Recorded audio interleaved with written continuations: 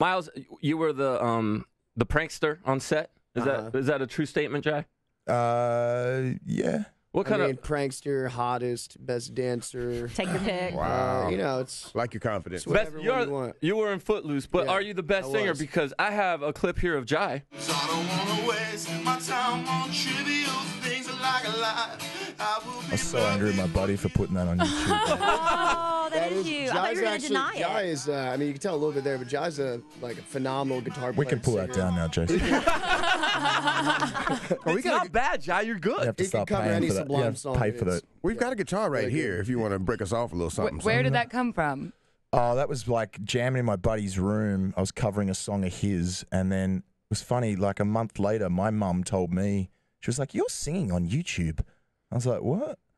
And I looked at it, and I was like, "Dude," I texted my friend. I was like, "What are you doing, bruh?" Don't you know I'm a, hu- don't you know I'm a Well, huge it's- the weird celebrity part is that now? you're wearing a dress while you're doing it. yeah. exactly. But, you know, the chord progression sounds good. The voice is good. Thanks, Miles. Yeah, you're welcome. Oh, look at Miles. Yeah. Miles is trying to get on American Idol or something. Jai's right there. How was it working with Kate Winslet?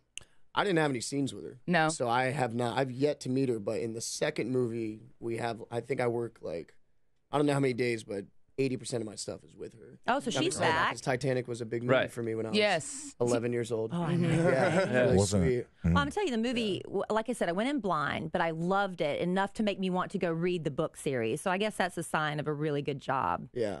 Did you guys Well, and I'll read? take all the credit for that. Yeah. You know, Okay, I- good. Well, obviously, I mean, I don't want to get. I don't know if people haven't seen the movie. I don't want to give stuff away by asking about like what's going to happen next. Well, think- obviously, you're both coming plug. back. I mean, Well, you're Yeah, I'm those coming back, so you're alive. Yeah. You can, Yeah. What do you want to ask? Well, I mean, you just said you're abs coming back, so that's not. Yeah, they were. But I'm kind of like the whole thing about being divergents. I kind of have a theory, and I have not read the books that you're both divergents.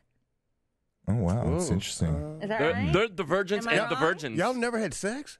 Well, then why don't we explain to everyone? Yeah, explain what divergents are, because this is just this futuristic society, right? Yeah, so, di- what are the divergents? Yeah, so uh, Chicago's basically been, or society's been split up into five factions, and they think that makes society run more smoothly when you kind of stick to your faction, whether it's like honesty or, um, you know, peace or, you know, whatever They're all based on like human Intelligence, virtues yeah, you kind of have a, a characteristic that defines your faction. And a divergent is somebody who doesn't fit into any of the factions, and that kind of messes everything up because you know, for this, you know, order of society to work, you need to kind of be in your box. Mm-hmm. Mm. And Shailene's character doesn't fit in that box, and then you know starts to uncover kind of the secrets as to why this society's been split up into these factions. So it's based on a true story. Yeah. Basically, totally if you're is. a True story, yeah. It is America. True story. and if you're caught being a divergent, you're dead meat. So Yeah, you have they to don't you do like everything you can to hide it. Yeah. and that's why I think I don't know.